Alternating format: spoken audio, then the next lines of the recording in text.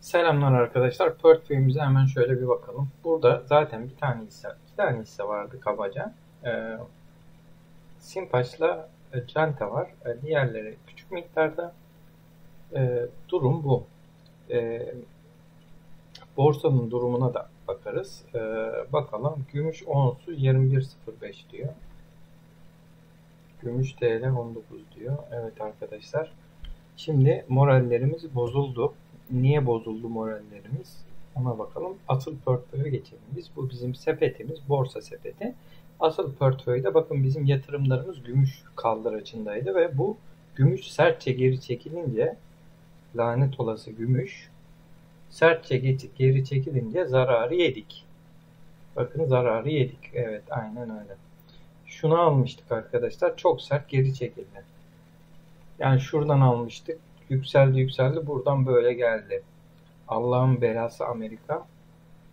Şimdi biraz para kaybedince ben böyle sinirleniyorum arkadaşlar. Evet lanet olası gümüş. Değerli metalmiş. Allah cezanızı versin sizin. Arkadaşlar ben işte altını çok az bir miktarda altı tutuyor. Yani bunları ben tutmak istemiyorum. Yani böyle bilezikler, takılar oluyor ya onlar eşim zoruyla aldığım şeyler aslında benim. Ben böyle şeyleri hiç sevmem. Şimdi bir miktar altın var. Altın çok geri çekilmedi. Gümüş çok geri çekildi. Burada bizim gümüşümüz var. Bu yüzde birin içinde, paramızın yüzde biri içinde e, bir tane e, gümüş kaldıracı var. AGQ diye. Bir tane TLT var. Bir tane de silver var. Bunların karışımı bu. Şu daha fazla. Şu AGQ daha fazla. İşte bu gümüş kaldıracı olduğu için e, bundan zarar yedik arkadaşlar. Şimdi e, tekrardan bakalım teknik anlamda. E, aslında teknik anlamda bakmanın da bir anlamı yok. E, faizler yükselince Amerika'da şu düşüyor. Evet, faizler yükselince şu düşüyor. Şimdi şöyle bakalım. E, şunu yukarı çıkarmak istiyorum. Ölçeğe bağlama. Taşı üst panoya, üst panoya yeni pano diyeceğiz. Allah Allah. Nereye gidiyor ya? Taşı üst panoya getir alt pano. Allah iyice bozduk ya. Şimdi şöyle yapmak istiyorum.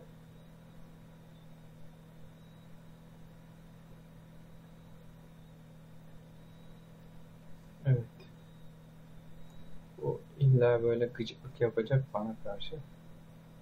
Ha şu şunu götüreceğiz panoya.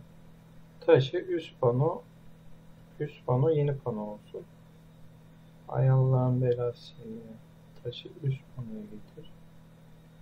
Tamam şu an istediğimiz yere geldi. Şöyle açalım. İlk önce şunu kapatalım. Diplere gelmiş mi buna bakıyoruz. Bakın burada dipler başlamış. Bakın burada dipler başlamış. Mesela burada bir yıllıktan bakmamız gerekiyor arkadaşlar. Şurada bir dip oluşmuş. Şurada bir dip oluşmuş. Kaçta? Bu ne ya? TLT'ye bakıyormuş. Biz tamam. TLT'ye bakalım. Burada bir dip oluşmuş. 92'lerde. Sonra burada yine dipler oluşuyor. Artık buralarda dipler oluşuyor. Teknik anlamda buralardan girmemiz gerekiyorken biz yanlış yerden girdik. AGQ kaldıraç olarak baktığımızda bakın burada bir dipler oluşmuş. Sonra burada şu an burada. O dibin de altında daha dip oluşmamış gibi gözüküyor. Bakın burada başlamış dip oluşmaya. Bu da başlamış. Yani burada birazcık daha düşer. Ondan sonra artık bu dibi e, dibi görürüz arkadaşlar. Ondan sonra e, burada pozisyon arttırmak suretiyle para kazanacağız. Yani burada para kaybettik diye kaçıp gitmeyeceğiz arkadaşlar. Yani bir dibi görsün pozisyon arttıracağız. Yani ne kadar paramız var burada? Paramızın atıyorum %0.5'i burada olsun. O olmaz yani 0.4'ü 3'ü olsun. Diyelim bu dibe geldi. Biz e, bundan bir miktar daha alacağız. Oldu da bir daha dibe geldi. Bu sefer yüklü bir miktar alacağız. Tamam mı? Şey bu. Yani şu an para kaybettik ama bu sürekli para kaybedeceğiz anlamına gelmiyor. Zaten bu e, martı mıdır nedir? Aha buna girdikten sonra işler ters gitmeye başladı. İlk önce parayı burada kaybettim. O kaybettikten sonra o parayı buraya koydum. Burada da kaybediyoruz. Evet. Amerika beni sinir etti arkadaşlar. Burada da Nasdaq'ta da bir kumar gibi bir şey var. Bir aşağı bir yukarı gidiyor. Zaten ben önümüzdeki sene bir kriz bekliyorum. Amerika bir patlayacak arkadaşlar. Hani e, işte o kriz geldiğinde zaten bu TLT'ler yükselecek. E, o kriz geldiğinde zaten bu gümüşler yükselecek. Bugün düşürebildiklerini düşürsünler. Yani biz alttan maliyetlenmek için daha da düşürsünler istiyoruz. Bir miktar paramız zararda. Evet yani sözde bakın %5 düşmüş. Sözde değerli metalmiş. Neresi değerli bunda? Neyse arkadaşlar buradan çıkalım. Buradan çıkalım biz. Şuradan çıkalım. Amerika borsasından çıkalım. Baktıkça sinir oluyor. Yani şimdi Türk borsasına gelelim. Ee, bakalım. Ee, bizim elimizde tuttuğumuz cante var. Ee, bu canteden para kazandık biraz. Ee, zaten bundan daha önce de kazanmıştık. Ee, yüzde yüzde on sekiz yüzde yüzde yirmi diyelim yani. Yüzde yirmi para kazandık. Yüzde on dokuz yüzde yirmi. Yani yüz bin lira koyduysak yirmi bin para kazandık. Öbür tarafta o kazandığımız parayı kaybettik. Ancak bu kaybettik anlamımıza gelmiyor. Şu an bize aslında fırsat penceresi açılıyor. Hani bir önceki videomda dedim ya altın, gümüşte fırsatlar yaklaşıyor.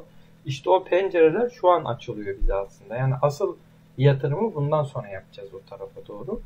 Ancak orası çok uzun vadede kazandırıyor. Ee, biz daha başka bir yöntem kullanacağız. Orada yine kaldıraca gireceğiz. Çok, çok uzun vade değil. Cante'ye bakalım. Ee, Cante e, şöyle yani buralardan maliyetlenmiştik. Hızlıca yükseldi. Geri geldi ama e, şuradan bakarsak e, şuraları eğer hani bu yeterince yükseliyor şu an e, tekrar bir atak daha gelebilir. E, gelme ihtimal çok büyük. Çok çok çok büyük. Niye? Bakın e, şöyle bakın şurada e, şurada şurada hissenin olduğu konumda para miktarı buyken şu an hissenin olduğu konum buradan daha aşağıda para miktarı hisseye giren para miktarı burada. Yani para miktarı hisseye giren para miktarı artarken hissenin ederi düşmüş gözüküyor.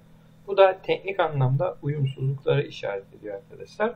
Burada e, ikinci bir hareket yine gelebilir. Onun için e, hacimlere dikkat edeceğiz. Hacim yükseldiği noktada yani ikinci hareket ciddi bir hareket gelebilir.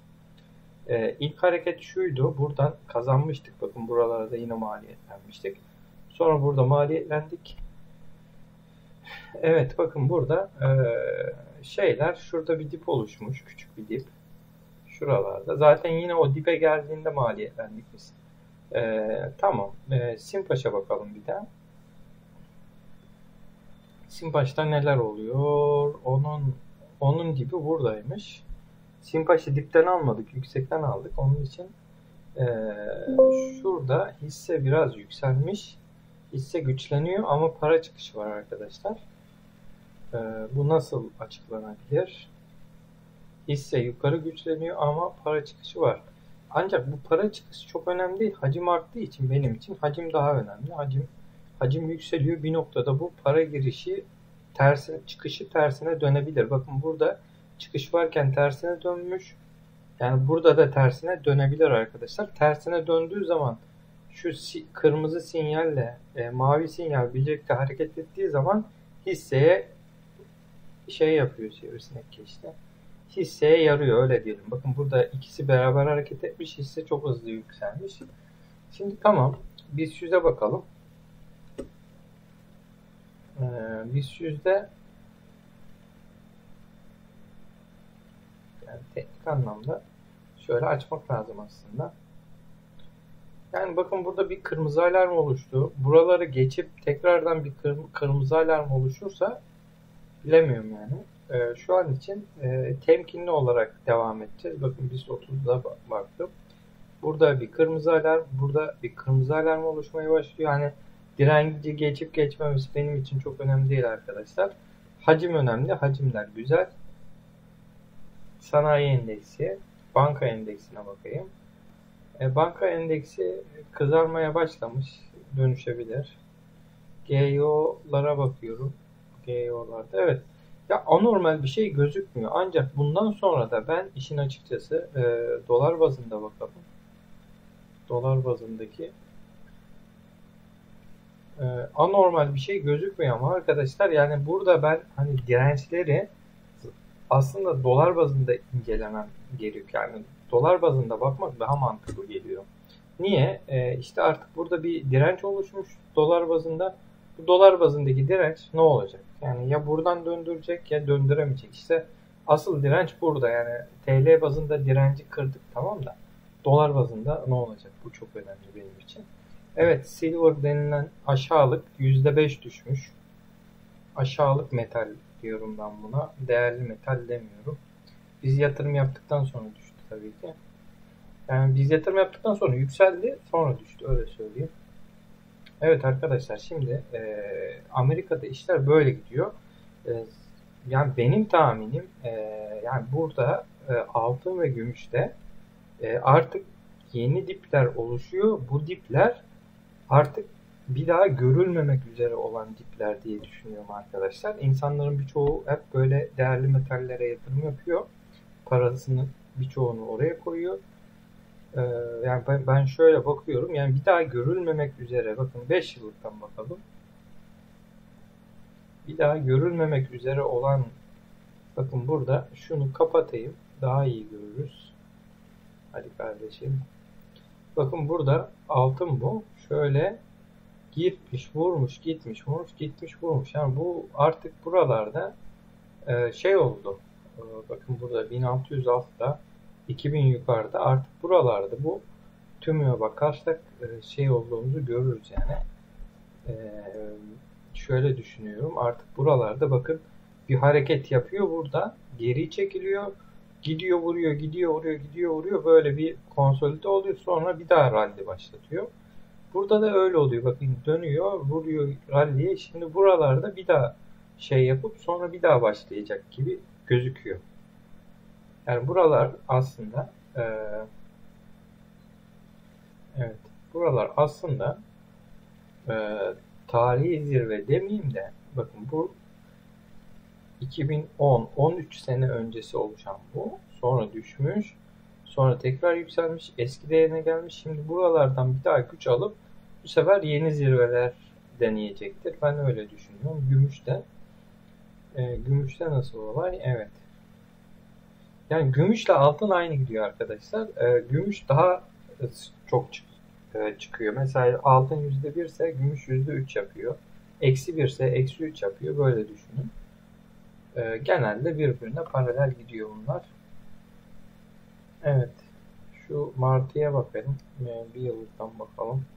Hacim gelmiş mi? Yok hacim yok arkadaşlar. Hacim olmayınca 0.6'lar bunun dibi oluyor artık. 0.6'lardan tekrardan giriş yapılabilir.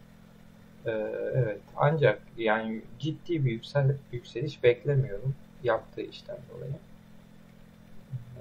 Evet teknik inceleme bu kadar herkese iyi günler.